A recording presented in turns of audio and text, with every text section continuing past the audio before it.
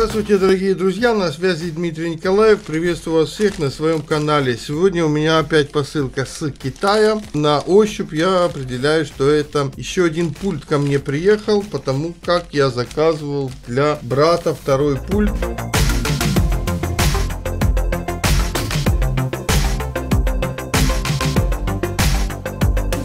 Предыдущий был не запакован. Я имею в виду в розничной такой упаковке. Этот же вот так упакован, но так же, как и предыдущий, чтобы мне его проверить, мне нужно поехать к брату, где есть приставка, на которой можно его проверить. Хорошо ли будет работать, перепроверю все. Вот эта модель, как вот тут написано, модель i7. Сразу сказали, чтобы клавиатуры сзади не было, было просто удобная вот такая воздушная мышка, чтобы вот так удобно было управлять TV-боксом. Итак, мы видим, что вот тут есть кнопочка включения уже, кнопки громкости, воспроизведения стоп. Это, видимо, для что-то, какие-то кнопки для браузера. Это надо все попробовать.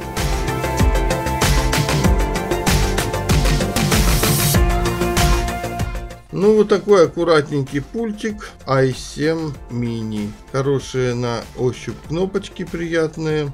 Тут находится вот адаптер, беспроводной адаптер и на две маленьких пальчиковых батарейки. Конечно, э, вот этот в два раза стоит дороже, чем вот этот. Посмотрим, стоит ли это того. Итак, выезжаю тестировать вот этот RI i7 пульт. Итак, продолжаем с пультом.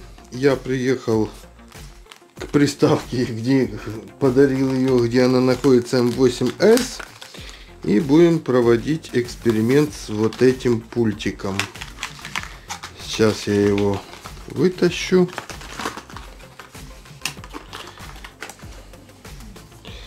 Так, сразу открываем вот этот адаптер беспроводной.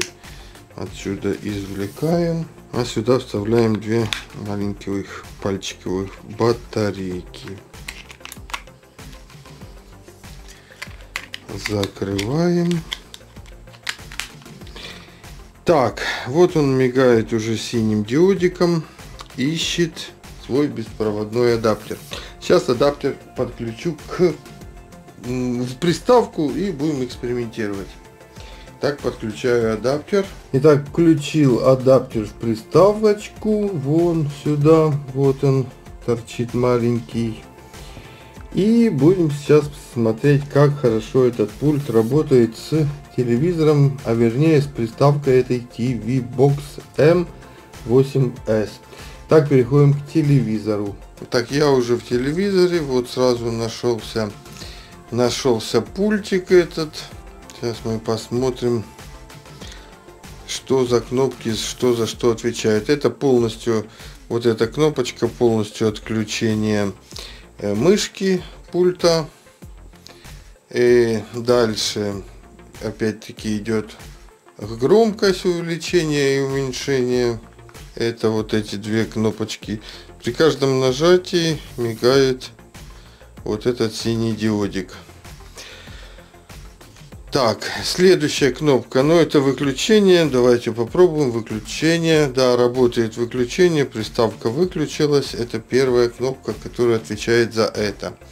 Но включаю приставку, так, приставка включилась, дальше, ну эта кнопочка следующая будет отвечать за вас, когда воспроизведение будет какое-то плеера, пауза и продолжение воспроизведения эта кнопочка у нас домой, возврат отовсюду. Давайте попробуем что-нибудь запустить. Ну, к примеру, вот этот FS2. Запускается браузер, Google браузер. И давайте запускаем любой фильм. Все нормально, отлично, плавно работает, то есть без никаких прерываний, подвисаний. Например, открываем файлы. Первый сезон. Оригинал. И воспроизведение. Давайте я сейчас вот как раз попробую вот эту кнопку. Пауза. Да, вот эта кнопочка отвечает за паузу и продолжение воспроизведения. Все так и есть. все работает. Сейчас я попробую кнопочку экран и масштаб.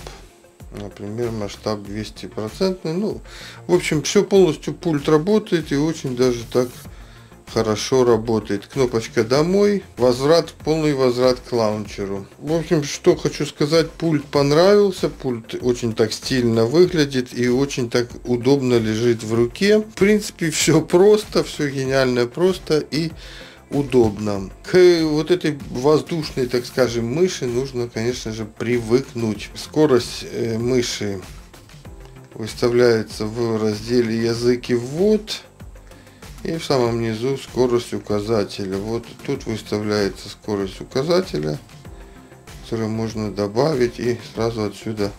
Но это очень быстро получается. Вот так, в принципе, хорошо получается. Нажимать ОК. Выставляйте все под вас, как вам больше нравится. Итак, подключил я этот пульт и в приставку MSQ, которая подключена, как видите, к обычному кинескопному телевизору. И что хочу сказать, отлично работает. Меня спрашивали многие мои подписчики, как эта приставка э, ведет себя с кинескопными телевизорами. Отлично она себя ведет и вот прекрасно работает. Значит, э, адаптер э, беспроводной я уже подключил в эту приставку. И вот, в принципе, даже не нужно калибровать. Очень просто все вводишь и мышка, естественно, параллельно указатель, курсор вводится. Единственное, что немножко, как по мне, быстро вводится. Для этого, как как и в предыдущем пульте, я перехожу в настройки, язык и ввод. В самом низу выставляю скорость указателя чуть-чуть медленнее. Ну, примерно вот так. Нажимаю ОК. И, в принципе, одно нажатие кнопки возвращаюсь сразу на главную страницу TV-бокса. Ну, вот так отлично все стало медленнее и как бы, как по мне, четче. То есть четче можно сразу запустить какое-нибудь приложение, к примеру, вот YouTube, ну и, естественно, воспроизводить его и возвращаемся резко домой с помощью пульта. Тут нужно немножко разобраться и с вот этой кнопкой, за что она отвечает. Ну, кнопка домой, кнопка отключения мыши. То есть переходим в режим обычного пульта, переходим по непосредственно самим приложениям с помощью курсора. Вот это уже удобно и нужно. Громкость, как я уже на предыдущем телевизоре показывал. В общем, все работает. Я именно хотел показать вам, что именно с этой приставкой этот пульт тоже хорошо работает. И, как говорится, хорошо с ней подружился. На этом все. Буду заканчивать. Всем спасибо за внимание. Э, с вами был Дмитрий Николаев. Подписывайтесь на канал, ставьте лайки. Всего вам всем хорошего. До скорых встреч.